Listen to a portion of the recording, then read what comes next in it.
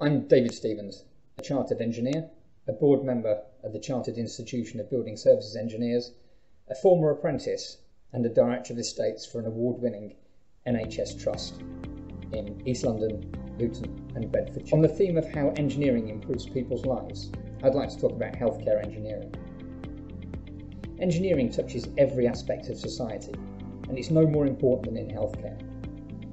Without engineering, hospitals simply wouldn't exist.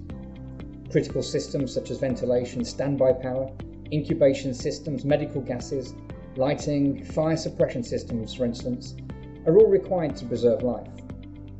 Chartered building services engineers are required to conceptualise, then design, install, and maintain these critical engineering systems, and develop maintenance strategies to keep things working exactly as they should. During the early stages of the COVID pandemic, engineers converted a large exhibition space in London and built a temporary hospital with space for 4,000 beds in just nine days. Engineers and engineering are often invisible or taken for granted. Engineering is such a vibrant and rewarding profession. It's a societal function and the backbone of many other professions.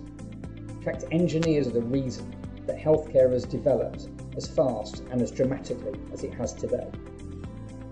Try and think of a society without engineers.